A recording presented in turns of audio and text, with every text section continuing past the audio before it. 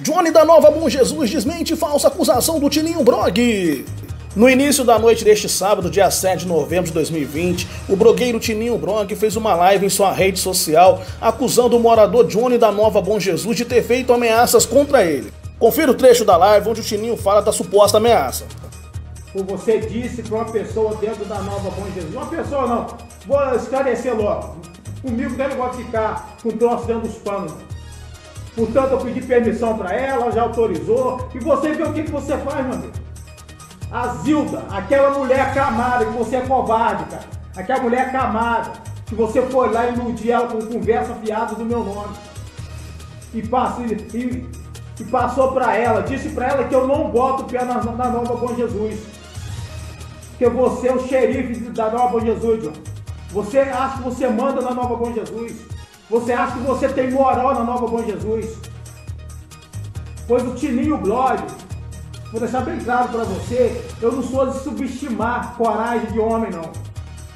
Eu tenho medo de homem covarde. Medo não, cisma de homem covarde. Porque você é covarde. Você é covarde. Você me fez uma ameaça. Está o áudio comigo, você me ameaçou.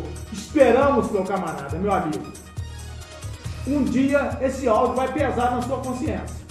Um dia você vai pagar pelo que você falou. Instantes depois, a convite do blogueiro Alan Gonçalves, Johnny entrou ao vivo em uma live no blog Alan Gonçalves, onde foi desmentido a falsa acusação do blogueiro Tininho Mentiras, que é capacho da quadrilha de Branca Mota. Veja o que disse Johnny sobre a falsa acusação do Tininho Brog. Quem tá falando é a dona Zilda, que mora aqui na minha rua.